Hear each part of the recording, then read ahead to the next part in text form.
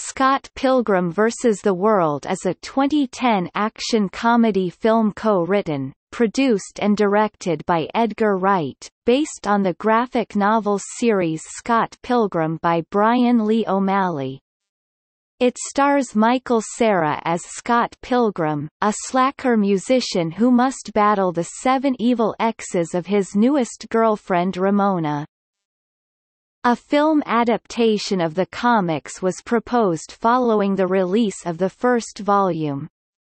Wright became attached to the project, and filming began in March 2009 in Toronto.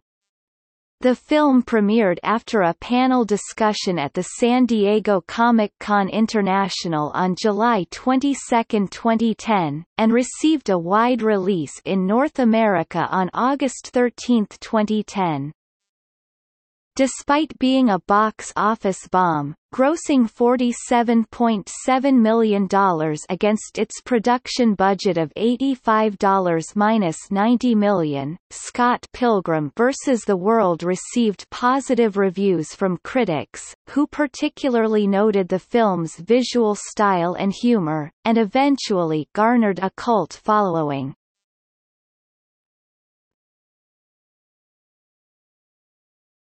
Topic. Plot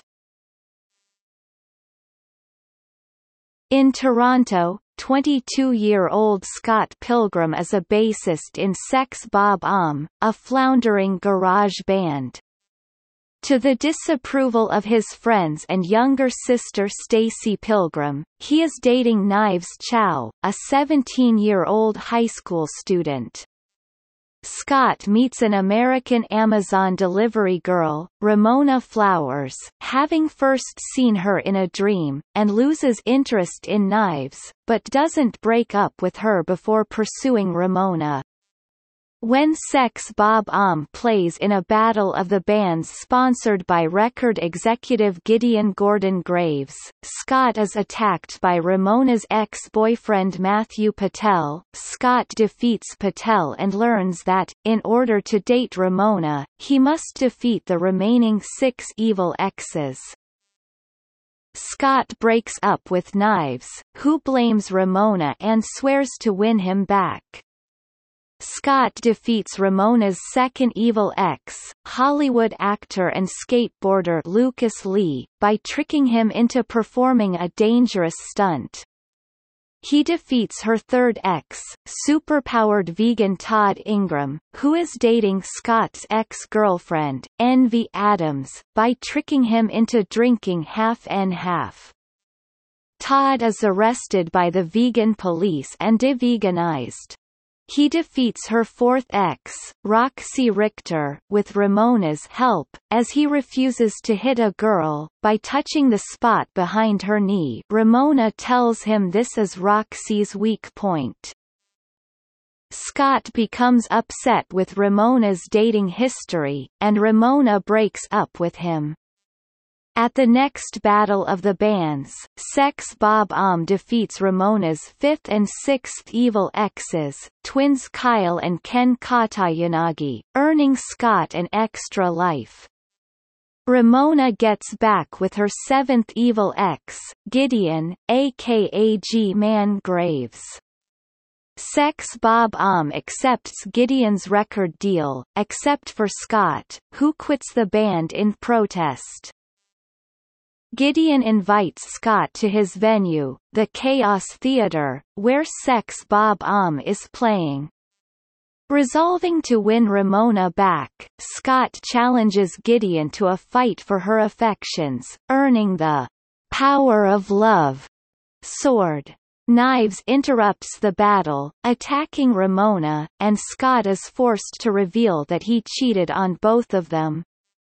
Gideon kills Scott and Ramona visits him in limbo to reveal that Gideon has implanted her with a mind control device. Scott uses his one-up and re-enters the Chaos Theater. He makes peace with his friends and challenges Gideon again, this time for himself. He gains the power of self-respect sword and disarms Gideon. He apologizes to Ramona and Knives for cheating on them, and Scott and Knives join forces to defeat Gideon.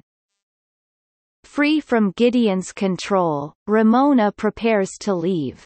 Knives accepts that her relationship with Scott is over and, at her encouragement, he leaves with Ramona.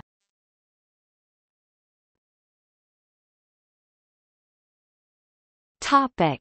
Cast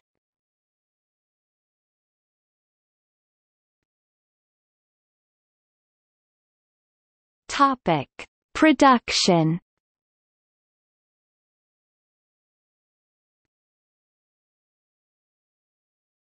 Topic: Development.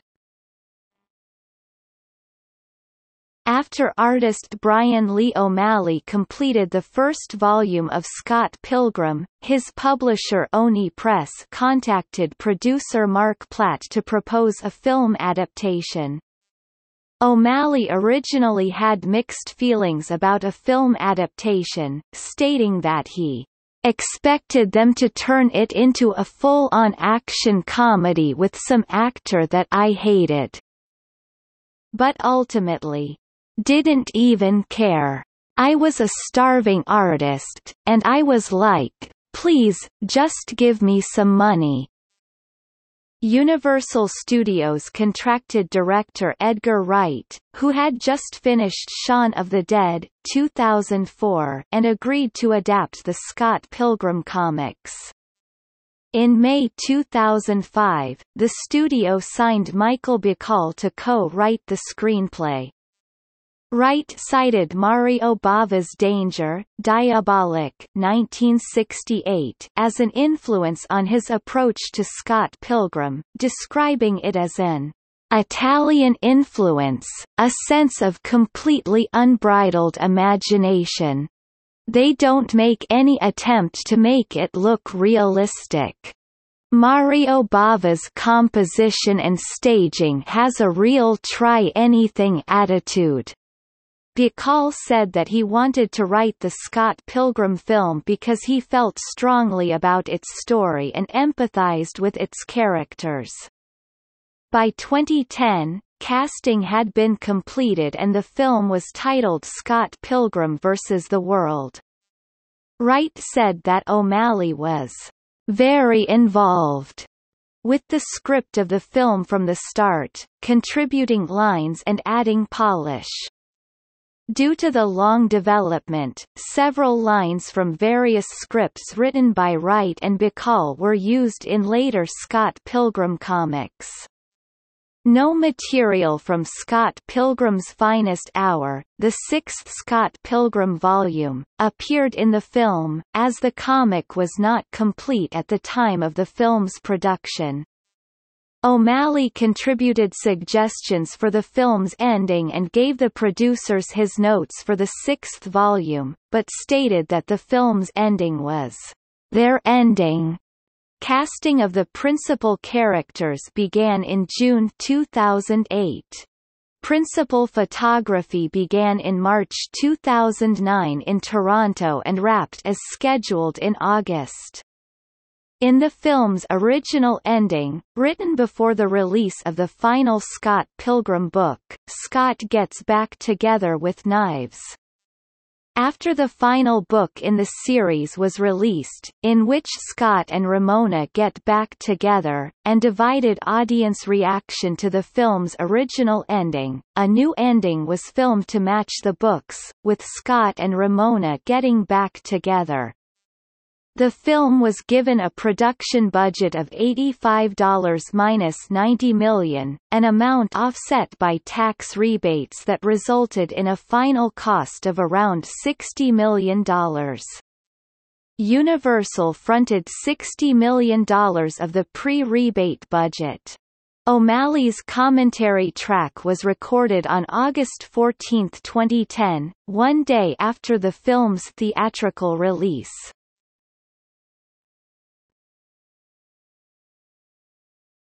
Topic. Setting One of the producers, Miles Dale, said that the film is the biggest movie ever identifiably set in Toronto.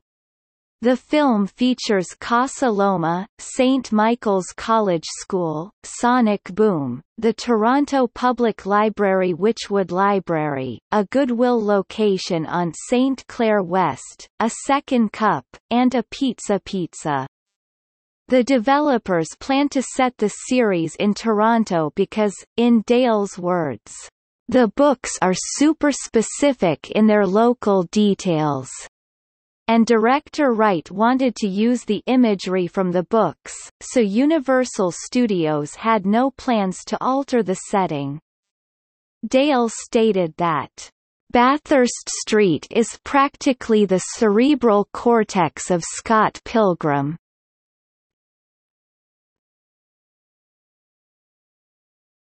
Topic: Casting Director Wright felt confident with his casting in the film. Wright stated that like with Hot Fuzz how we had great people in every single tiny part, it's the same with this. What's great with this is that there's people you know, like with Michael, Cera, and Jason Schwartzman, and then we have people who are up and coming, like Anna Kendrick, Aubrey Plaza and Brie Larson, and then there's complete unknowns as well. There was no studio interference with casting more unknowns, as Wright stated that Universal never really gave me any problems about casting bigger people, because in a way Michael Cera has starred in two $100 million plus movies, and also a lot of the other people, though they're not the biggest names, people certainly know who they are. Wright planned on casting Cera while writing Hot Fuzz after watching episodes of Arrested Development.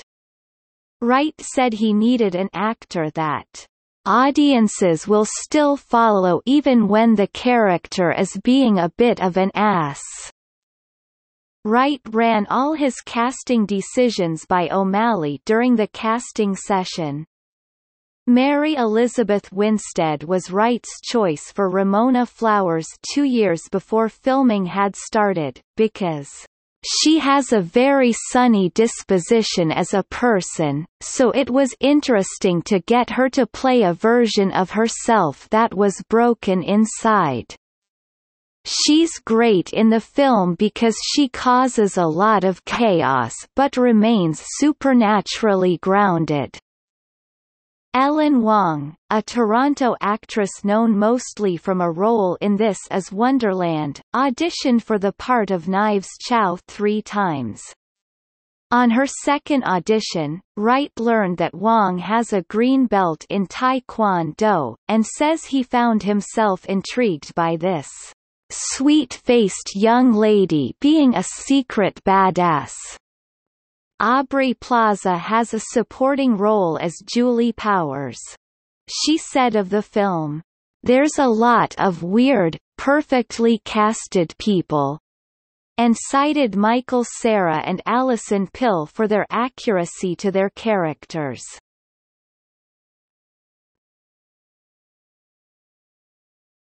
Topic: Music Radiohead producer Nigel Godrich, Beck, Metric, Broken Social Scene, Cornelius, Dan the Automator, Kid Koala, and David Campbell all contributed to the film's soundtrack. Beck wrote and composed the music played by Sex Bob-omb in the film, with Brian LeBarton playing drums and bass for the band on the film's score and soundtrack.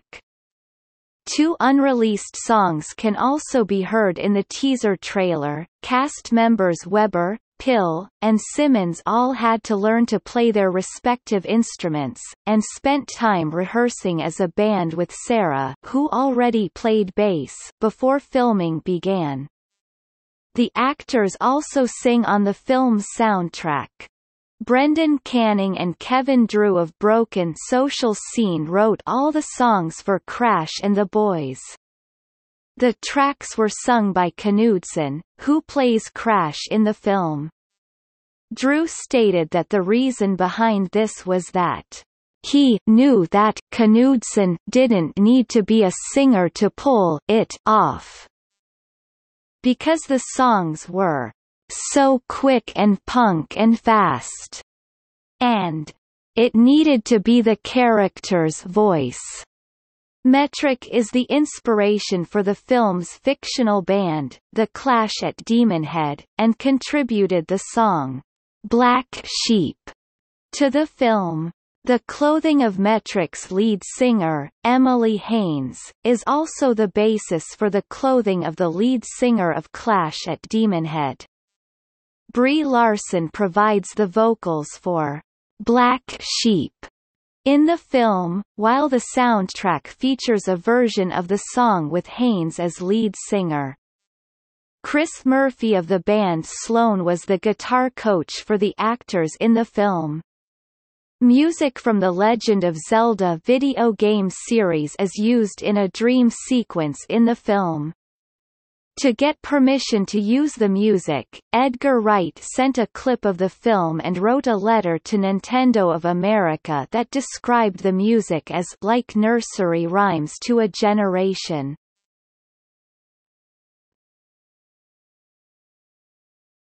Topic: Title sequence The opening title sequence was designed by Richard Kenworthy of Shynola, and was inspired by drawn on film animation. According to Kenworthy, you can't study animation and not be well versed in Len Lye, Oskar Fischinger, Stan Brakhage, and Norman McLaren. We went back and re-watched those films and they were still full of life. We got excited about projecting such vivid imagery on the big screen, in front of an audience who most likely hadn't experienced that work. Wright got the idea from fellow director Quentin Tarantino, who famously uses title sequences at the beginning of his films.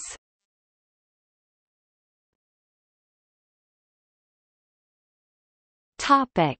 Release A Scott Pilgrim vs. the World panel featured at the San Diego Comic-Con International held on July 22, 2010.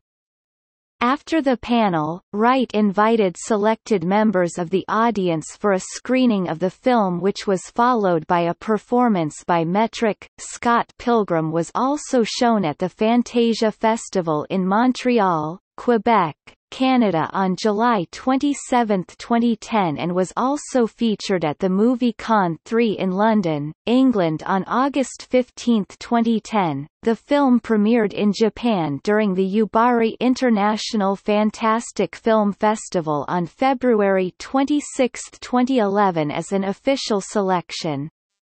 It was released to the rest of the country on April 29, 2011.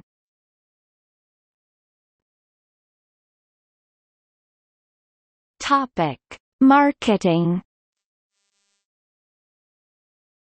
On March 25, 2010, the first teaser trailer was released, a second trailer featuring music by the Ting Tings, LCD Soundsystem, Be Your Own Pet, Cornelius, Blood Red Shoes, and The Prodigy was released May 31, 2010, at the 2010 MTV Movie Awards. The first clip was released featuring Scott facing Lucas Lee in battle. The actors playing Lee's stunt doubles are the actual stunt doubles for Chris Evans. Alison Pill, who plays Kim in the film, stated that her character's past relationship with Scott will be explored in other media stating that, "...there will be a little something something that will air on Adult Swim." The animated short, Scott Pilgrim vs. the Animation, produced by Titmouse Inc., adapts the opening prologue of the second Scott Pilgrim book and was aired on Adult Swim on August 12, 2010, a day prior to the film's theatrical release, later being released on their website. Michael Cera stated that he felt the film was a tricky one to sell. I don't know how you convey that movie in a marketing campaign. I can see it being something that people are slow to discover. In honesty, I was slow to find Shaun of the Dead.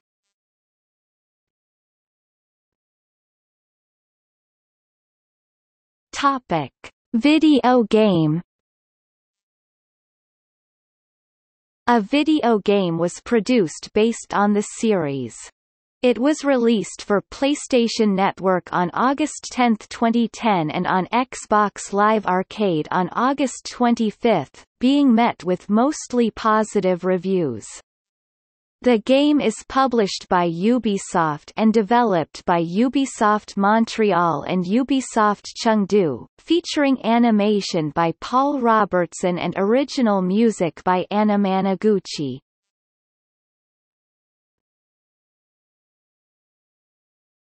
Topic: Home media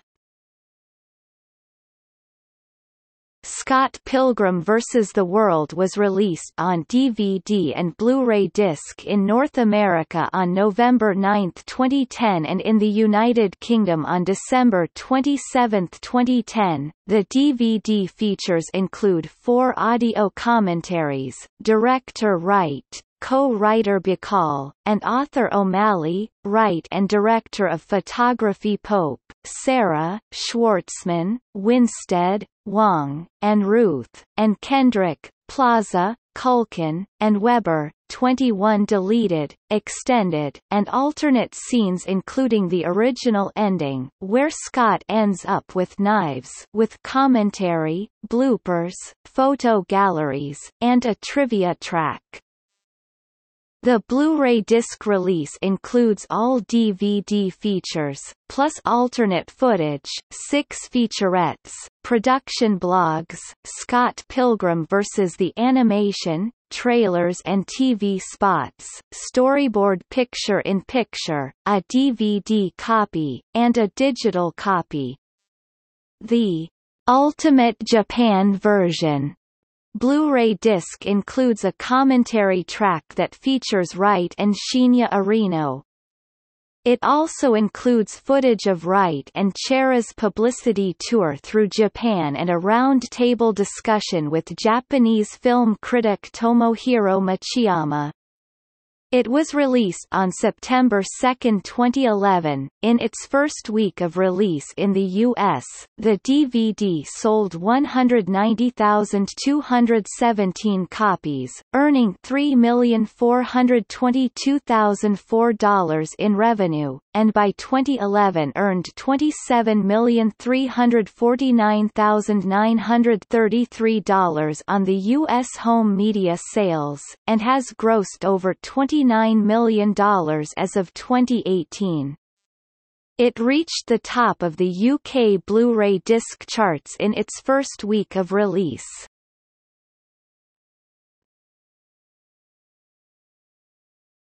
Topic: Reception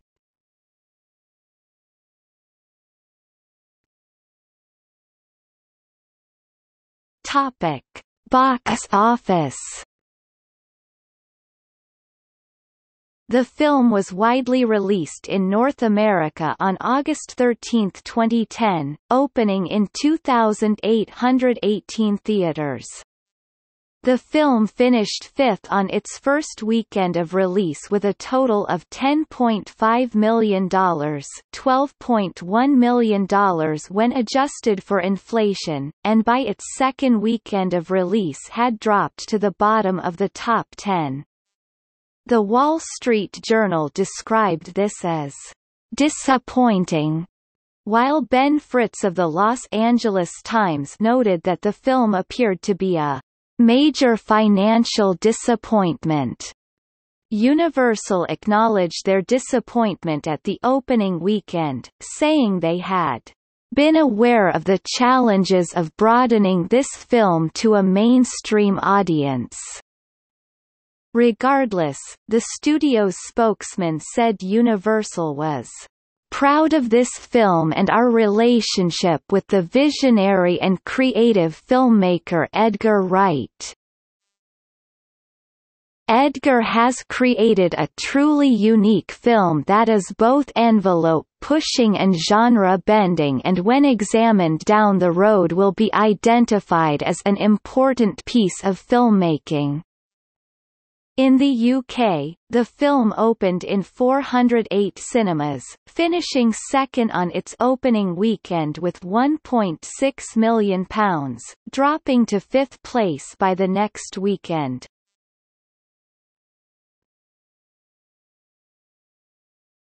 Topic: Critical response.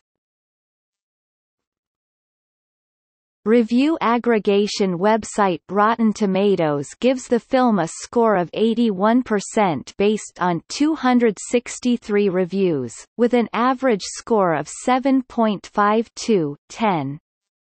The site's consensus states, its script may not be as dazzling as its eye-popping visuals, but Scott Pilgrim vs. the World is fast, funny, and inventive. Metacritic has assigned an average score of 69 out of 100, based on 38 reviews, which indicates generally favorable reviews. At a test screening, director Kevin Smith was impressed by the film saying, That movie is great. It's spellbinding and nobody is going to understand what the F asterisk asterisk asterisk just hit them. I would be hard-pressed to say, he's bringing a comic book to life, but he is bringing a comic book to life. Smith also said that fellow directors Quentin Tarantino and Jason Reitman were really into it. Carla Gillis, a writer for Now and former lead singer for the band Plumtree, also commented on the film, as her band's song, Scott Pilgrim, was the inspiration for O'Malley to create the series. Gillis felt the film carried the same positive yet bittersweet tone of the song. After premiere screenings at the San Diego Comic Con International, the film received positive reviews. Variety gave the film a mixed review, referring to the film as an example of attention deficit filmmaking at both its finest and its most frustrating, and that Anyone over 25 is likely to find director Edgar Wright's adaptation of the cult graphic novel exhausting, like playing chaperone at a party full of oversexed college kids. The Hollywood Reporter wrote a negative review, stating that, What's disappointing is that this is all so juvenile. Nothing makes any real sense. Michael Cera doesn't give a performance that anchors the nonsense. And Universal should have a youth hit in the domestic market when the film opens next month. A wider audience among older or international viewers seems unlikely. David Edelstein of New York Magazine wrote that, "...the film is repetitive, top-heavy, Wright blows his wad too early. But a different lead might have kept you laughing and engaged. Cera doesn't come alive in the fight scenes the way Stephen Chow does in the best, and most Tashlin-like, of all the surreal martial arts comedies, Kung Fu Hustle. Cindy White at IGN gave the film a positive rating of 8 tenths calling the film funny and offbeat, as well as noting that the film is best suited for the wired generation and those of us who grew up on Nintendo and MTV. Its kinetic nature and quirky sensibilities might be a turn-off for some. Nick Schager of Slant Magazine gave the film a positive review of three and a half stars out of four, calling Edgar Wright an inspired mash-up artist, and Scott Pilgrim vs. the World may be his finest hybridization to date. A.O. Scott made the film a critic's pick, stating, there are some movies about youth that just make you feel old, even if you aren't. Scott Pilgrim vs. the World has the opposite effect. Its speedy, funny, happy sad spirit is so infectious that the movie makes you feel at home in its world even if the landscape is, at first glance, unfamiliar. According to Michael Phillips, Scott Pilgrim vs. the World is different, and not just because it's funny first and everything else second. Director and co-writer Edgar Wright understands the appeal of the original Brian Lee O'Malley graphic novels, O'Malley's manga-inspired books combine utter banality with superhero hyperbole, and it's a lot for a director to take on. Wright, who is British, has taken it on and won. Scott Pilgrim vs. the World lives and breathes the style of the original books, with animated squiggles and hearts and stars filling out the frame in many individual shots. Some of this is cute, some of it is better, weirder than cute. Phillips concludes to enjoy the film you must enjoy the brash, satiric spirit of Hero's Quest. Cera and his fellow ensemble members, including Kieran Culkin as Scott's roommate, Anna Kendrick as his snippy younger sister and the majestically dour Alison Pill as the band's drummer, mitigate the apocalyptic craziness with their deadpan wiles. At its best, Wright's film is raucous, impudent entertainment. After its premiere in Japan, several notable video game, film, and anime industry personalities have praised Scott Pilgrim vs. the World, among them Hironobu Sakaguchi, Goichi Suda, Miki Mizuno, Tomohiko Ito and Takao Nakano. In June 2013, Scott Pilgrim creator Brian Lee O'Malley, who is of Korean and white Canadian parentage, stated that he regretted the fact that the film's cast was predominantly white, and that there were not enough roles for minorities.